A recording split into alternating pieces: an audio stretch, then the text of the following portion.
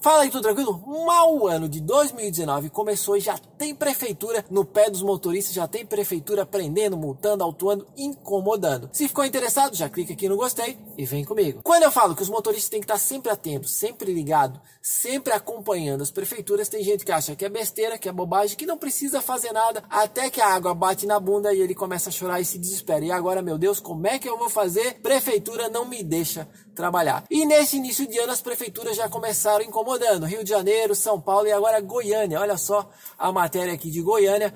Prefeitura de Goiânia, com base num decreto de 2017, um decreto aí de quase dois anos, de 2017, a prefeitura agora resolveu aprender, multar, incomodar, atrapalhar os motoristas lá que só querem trabalhar. E a desculpa é que os aplicativos, as empresas dos aplicativos não se adequaram às normas, aos critérios do decreto da lei lá da cidade de Goiânia. A lei exigia que os aplicativos procurassem a prefeitura, fizessem cadastros, que começassem a mandar informações sobre os motoristas, que os motoristas fossem orientados a ir na prefeitura para pagar uma taxa. Lá em Goiânia eles vão exigir uma taxa mensal de 33 reais dos motoristas, além de um curso específico nos padrões ali do Conduap que já é exigido em São Paulo. Lá em Goiânia Goiânia, a prefeitura quer que os motoristas também sejam capacitados, passem por um treinamento. Os aplicativos empurraram com a barriga, deixaram o tempo passar e agora a bomba estourou. E estourou aonde? No colo dos motoristas que agora estão se incomodando, que estão sendo multados, estão tendo seus carros apreendidos, que estão tendo que trabalhar escondido ou às vezes nem trabalhar. E isso atrapalha porque muita gente vive só dos aplicativos, depende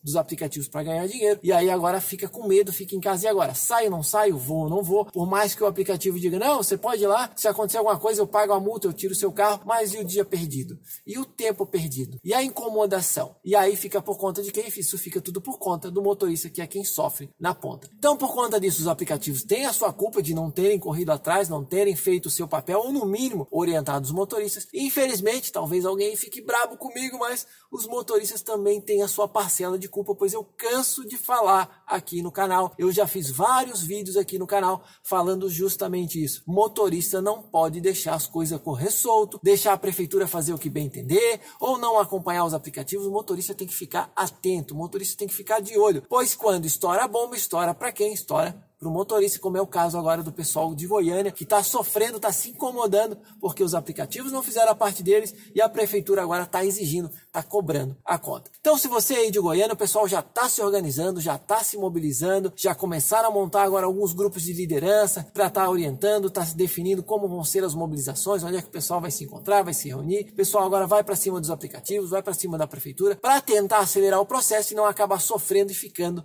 sem trabalhar. Então, galera de Goiânia, vocês têm o meu apoio apoio. Se vocês precisar, o canal está em aberto, vários motoristas lá me procuraram pedindo para fazer um vídeo para estar tá orientando, estar tá esclarecendo e estar tá alertando o pessoal de Goiânia e região que ó, a prefeitura está incomodando. Se vocês aí não se unirem e não trabalharem junto para fazer a coisa andar, vocês vão acabar pagando o pato, pois fica os aplicativos se enrolando do lado, a prefeitura exigindo do outro e os motoristas sofrendo. Se você é de Goiânia, apoie o movimento para acelerar esse processo e você poder voltar para a rua para poder trabalhar tranquilamente, ok? Espero que tenha gostado desse vídeo. Já deixa aqui nos comentários como é que anda a regulamentação na sua cidade. Tá funcionando? Não tá? Tá acontecendo? Não tá? Estão acompanhando? Não estão? Se não estão, já se agilize. Deixa aqui nos comentários, quero saber a sua opinião. Um grande abraço, um bom trabalho, uma boa viagem e até o próximo vídeo, hein?